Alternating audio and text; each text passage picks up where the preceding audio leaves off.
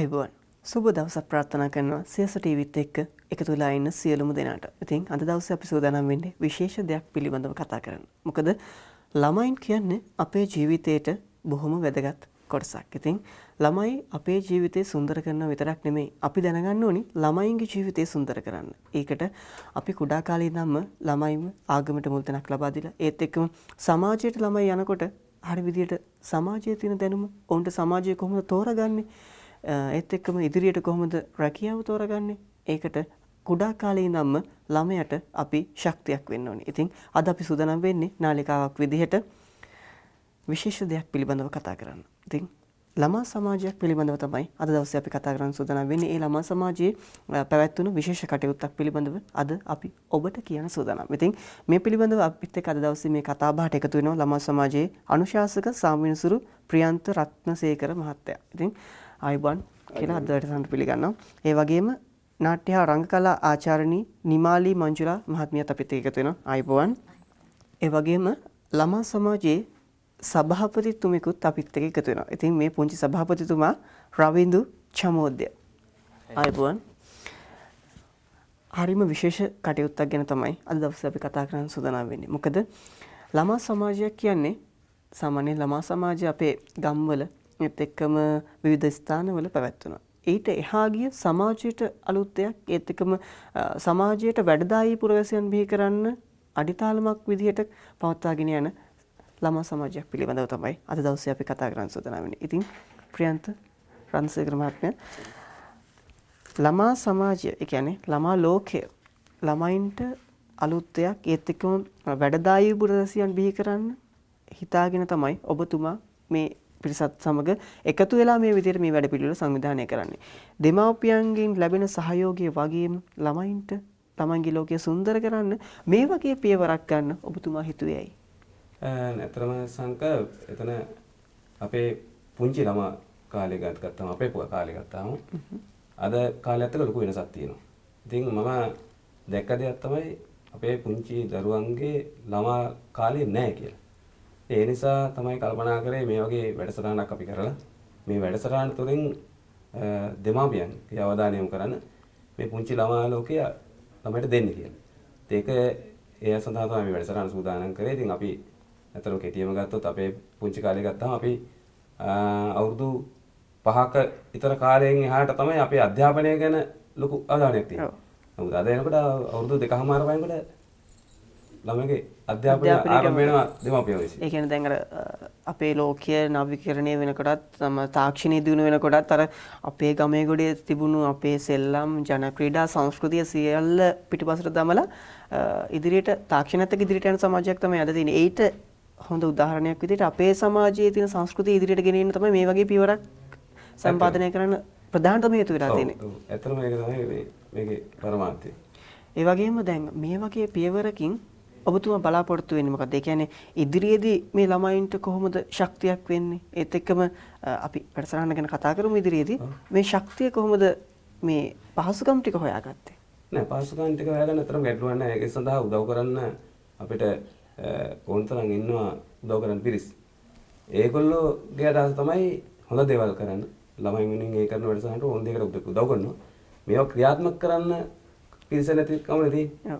ඉතින් මම උත්සාහ ගත්තේ මේක මගේ සංකල්ප වුණාට මේ ළමයි එක්ක සහ වැඩිහිටියෝ සියලු දෙනාම එකතු වෙලා මේ වගේ වැඩසටහන් කරලා ඒ තුලින් දැන් අපි මෙතන ඉස්සරහට අපි කතා කරමු.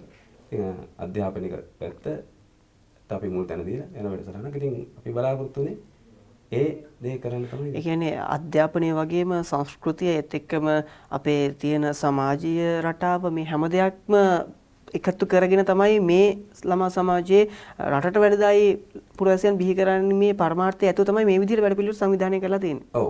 දැන් මම මේක තනියෙන් යමක් කරන්න මේක කරේ නැහැ නේ. ඊට තමයි ළමයි ටික සම්බන්ධ කරලා ළමයි එක්ක අපි මේ ගණන් කරගෙන දැන් අපේ නැති වී යන සංස්කෘතිය. දැන් අතන මේකයි මේ නිර්මාණ වැඩමුළු ඔක්කොම තුන අපි දැන් ඉස්සරහ කතා කරමු. ඉතින් ඒ සියල්ලම හැදුවේ මේ අපිට නැති වී යන අපේ පුංචි නැති වී යන පුංචි ළමා ලෝකේ නැවත වතාවක් මේ ළමයින්ට දෙන්න කියන පණිවිඩය අපේ දෙමාපියන්ට පුංචි අපේ ළමා ලෝකයේ නැවතත් ළමයින්ට ලබා දෙන්න කියන පණිවිඩය දෙමාපියන්ට වගේම රටට ලබා දෙන්න තමයි මූලිකම පරමාර්ථය වෙලා තියෙන්නේ. ඒත් එක්කම මේ විදිහේ ගුරු මණ්ඩලයක් දැන් ඔබතුමත් එක්ක බොහොම සහයෝගයෙන් වැඩ කරනවා. දැන් මේ ගුරුතුමියත් අපිත් එක්ක සම්බන්ධ වෙනවා අද දවසේදී මේ ළමයිත් එක්ක සහයෝගයෙන් වැඩ කරනකොට මේ වගේ ළමා සමාජයක් කරහා රටට යමක් ළමයින්ට යමක් දෙන්න පුළුවන් වෙනවා කියලා අපි හැමෝම දන්නවා. ඉතින් ඔබතුමියගෙන් දැනගන්න කැමති මේ විදිහට මේ වැඩ කටයුතු කරගෙන යනකොට මේ ළමයිත් එක්ක වැඩ කටයුතු කරගෙන යනකොට කොහොමද දැනෙන හැඟීම? මේ වගේ දෙයක් කරන්න ඔබතුමිය ඔබතුමියත් යොමු වෙන්න මොකද්ද තියෙන හේතුව? ඔව් සංක මුලින්ම මට ඇත්තටම ප්‍රියන්ත අයියා ඇවිල්ලා කිව්වහම මේ මෙහෙම දෙයක් මගේ ඔළුවේ තියෙනවා මේ ළමයි ඇත්තටම දැක්කහම අද අපේ ගමේ ළමයි ගොඩ දෙනෙක් ඉන්නවා සමහර ළමයි ඉස්කෝලේ යන්නේ නැහැ. ඒ ළමයි අධ්‍යාපනය ලැබිය යුතු කාලෙත් ඒ ළමයි ඉස්කෝලේ යන එක පැත්තක තියලා සමහර වෙලාවට අම්මලාට උදව් කරන්න යනවා. එහෙම නැත්නම් ළමයි සෙල්ලමට වැඩිලා. අධ්‍යාපනය කියන දේ එහෙම් පිටින්ම අමතක කරලා. නමුත් ඒ ළමයින්ගේ සැඟවිත්ත දක්ෂතාවයක් තියෙනවා කියන එක අපි දන්නවා. අපි දැක්කා ඒක සමහර බොහොම අවස්ථාවලදී. පස්සේ මට ප්‍රියන්ත අයියා කතා කළා කිව්වා නංගි මගේ මෙහෙම අදහසක් තියෙනවා. මට මේකට උදව් කරන්න පුළුවන්ද? මම බොහොම කැමැත්තෙන් බොහොම ආසාවෙන් මං හරි මම ඕන දෙයක් ඕන වෙලාවක මං උදව් කරන්න කැමතියි. මොනවද කියන්න ඕනේ? ඊට පස්සේ වැඩසටහන ගැන ප්‍රියන්තයි මාත් එක්ක කතා කරාම මගේත් අදහස් කියලා අපි කලාකරුවනුත් මේ වැඩසටහනට සම්බන්ධ කරගෙන අපි මේ ළමයි සම්බන්ධම වැඩසටහනක් කරන්න පුළුවන් කට්ටිය සම්බන්ධ කරගෙන අපි මේ දේ මෙහෙම කරමු කියලා. ඇත්තටම ගොඩක් සතුටුයි සමහර ළමයි එංගේ හිතේ ආසාව තිබුණාට ඒගොල්ලන්ට දෙයක් කරන්න අවස්ථාවක් ලැබුණ නැහැ. අවස්ථාවක් හම්බුනේ නැහැ. ඒගොල්ලන්ට උදව් කරන්න කෙනෙක් හිටියේ නැහැ. ඉතින් සමහර වෙලාවට මං එතන ගිහිල්ලා උගන්වන වෙලාවට සමහර ළමයි ඇවිල්ලා බලාගෙන ඉන්නවා. බලාගෙන ඉඳලා ඇහිල්ලා අහනවා අනේ මිස් මාවත් මේකට සම්බන්ධ කරගන්නකෝ කියලා. එහෙම වෙච්ච වෙලාවකට ඒ ළමයාගේ බැරිකම ගැන අපි බැලුවේ නැහැ. පියන්තය මට කියලා හිටියා නංගි කිසිම වෙලාවක කිසිම ළමෙක්ව හලන්න එපා. උපරිමයෙන් උත්සාහ කරන්න මේ ළමයින්ව කොහොම හරි මේගොල්ලන් පුරුදු පුහුණු කරලා මේගොල්ලන් ඉස්සරහට ගන්න. කිසි කෙනෙක් වැටෙන්න දෙන්න එපා කියලා. අර මේ දක්ෂතාවය ඒත් එක්කම හැංගිලා තියෙන දේවල් ඉදිරියට ගන්න. දේ ඉදිරියට ගන්න. ඇත්තටම දක්ෂතාවය තියෙනවා. දක්ෂතාවය තියෙනවා, කැපවීම තියෙනවා, උනන්දුව තියෙනවා. ඉතින් සමහර වෙලාවට රෑ 8ට 9ටත් මේ ළමයි මගේ ගෙදරට එනවා. අනේ මිස් මේ මට මේක ආයි පොඩ්ඩක් මේක කියලා දෙන්නකෝ. ඒක තමයි ඒගොල්ලන්ගේ මට මට ඒක ලොකුම ලොකු දෙයක් වුණා. අර ළමයින් තුලත් ඒ වෙන සිදු කරන සියලු කාර්යයන් වලට කැපවීම තියෙනවා කැපවීම තියෙනවා කියන එක දැක්කහම බොහොම වෙලාවට මම මගේ වැඩත් පැත්තක තියලා මේ වෙනුවෙන් ගොඩක් මේ මහන්සි වෙලා බොහොම සාර්ථක වැඩසටහනක් අපිට දෙසැම්බර් 3 වෙනිදා කරන්න පුළුවන් වුණා විශේෂයෙන්ම ප්‍රියන්තයාගේ මඟ පෙන්වීම යටතේ. ඒ වගේම මේ ප්‍රියන්ත මහත්තයා දැනගන්න කැමති දැන් සභාපතිතුමා අපේ පුංචි මල්ලි කෙනෙක් තමයි සභාපති හැටියට මේ විදිහට මේ වගේ පොඩි දරුවෙක් සභාපති හැටියට දැන් නිලතල ලබා දෙනවා කියන්නේ යම්කිසි වගකීමක් දරන්න පුළුවන් නිසා මේ ළමයින්ව තෝරා ගැනීමේදී මොකක් හරි වැඩපිළිවෙලක් අනුගමනය කළත් මේ තනතුරු දෙනකොට ඒ කියන්නේ වැඩ හොඳට කරන නිසාද මේ තනතුරු ලබා දෙන්නේ මොකක් හරි ඒ විදිහේ දේවල් නිසාද? ඇත්තටම සංක හොඳ ප්‍රශ්නයක් ඒක. මොකද මේ ළමයින්ට අපි නායකත්ව පුහුණුවක් මේක තියෙනවා. ඇත්තටම. ඒකේදී අපේ බලාපොරොත්තු තමයි හැම කෙනෙකුටම වර්ෂයක කාලයක් මේක නායකත්වයේ දරන්න දීලා ඒ ක්‍රියාකාරකම තුළ වර්ෂ අවසානයේ ඇගීමක් කරන්න. එතකොට මේක එන වැදගත් වෙනවා. අපි වර්ෂ හැම වර්ෂ අවසානෙම ඇගීමක් කරනවා. ඒ ඇගීමේදී යා ඒ කාලය තුළ ඒ තනතුරේ ඉඳගෙන කරපු සමාජ වැඩසටහන් එක්ක යාට ඇගීම කරනවා. අපි වෙනම පොතක් හදලා තියෙනවා. මේ පොතේ තියෙනවා මේ හැම දරුවෙක්ගෙම ක්‍රියාකාරකයේ වර්ෂය තුළ යාගේ පැමිණීම එයා යම් සමාජ වැඩසටහනකට සහභාගී වුණාද? ඒ පිළිබඳව එයාගේ විවිධ තරඟ වලට සහභාගී වෙලා ජයග්‍රහණය ගත්තද? ඒ සියල්ලම සටහන් වෙන පොතක්. එතකොට අපි කොහේ හරි වැඩසටහනකට පන්සලකට වැඩසටහනකට සහභාගී වුණත් ඒ වැඩසටහන සඳහා ඒ විහාරස්ථානයේ හාමුදුරන් වහන්සේගේ අසන අපි ඒකට යොදා ගන්නවා. එතකොට මෙයාගේ නායකත්ව පුහුණුවක්. ඉතින් ඒ සඳහා එතකොට දැන් මෙයාගේ කාලේ අවුරුද්දයි ඊම්පස්සේ තව කෙනෙක් ඉන්නේ. එතකොට අපි අවුරුද්දෙන් අවුරුද්ද ඔව් දක්ෂතාවය තියෙනකොට ඉදිරියට තව කෙනෙක්ව ගන්නවා මේ කටයුතුත් එක්ක තමන්ගේ දක්ෂතාවයත් එක්ක ඉදිරියට යීමේ හැකියාව තියෙනවා. ඔව් තියෙනවා. දැන් ඒක මේ අපි අද අවුරුද්දක් ගිහලා මේ දෙවෙනි අවුරුද්ද පටන් ගත්තේ. මේකෙදි මම මේ අතරම මේ හැකියාවන් තියෙනව පත් කිරීම සඳහා මම මූලිකත්වය ගත්තා. වෙන තැන් වල සාමාන්‍ය කාටවත් නැගිටලා කියනවා මෙයාව යෝජනා කරන්න කියලා. දැන් මේකෙදි නම් මම කෙලින්ම කිව්වා මේ මේ කණ්ඩායම මේකෙදි පත් වෙන්න ඕනේ කියලා. ඒක මම මේ හැදුවේ නැත්තම් මේක අපිට පවත්වාගෙන යන්න බෑ. නිකම්ම නිකන් ළමා සමාජයක් වුණොත් වැඩක් නෑ. ඒ කියන්නේ අර සාමාන්‍ය තිබෙන ළමා සමාජයකට වඩා එහා ගිය සමාජයට අලුත් දෙයක් දෙන්න සමාජයට වැඩදායී දෙයක් දෙන්න පරමාර්ථය ඇතුව තමයි මේ විදිහට ළමයින්ව තනතුරු සඳහා පත් කරගන්නත් මූලිකම හේතු වෙලා තියෙන්නේ. ඔව්.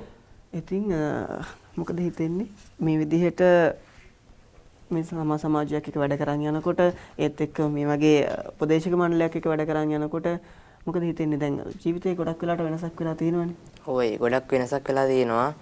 අපි නොදන්න දේවල් ගොඩක් ඉගෙන ගත්තා මේ වගේ වැඩසටහන් වලින්. තවත් ගුරුවරුන් හා සම්බන්ධ වෙලා අපේ තිබ්බ දක්ෂතා ගොඩක් වර්ධනය කරගත්තා. තව යාළුවොත් එක්ක එකතු වෙන්න අවස්ථාවක් ලැබුණා. ගොඩ සතුටුයි. ඔව්.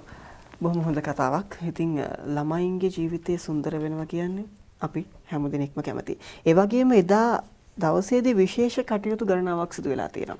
නිර්මාණ නිර්මාණය එදාම සිදු කරලා ඒවා ඇගීමට ලක් කරලා තියෙනවා. අපි ඒ පිළිබඳව කතා කරමු. මොන වගේ නිර්මාණද මේගොල්ලන්ට ඒ වගේ දෙයක් ඒ දවසේදී සිදු කරන්න මොකද්ද බලපෑව මූලික හේතුව?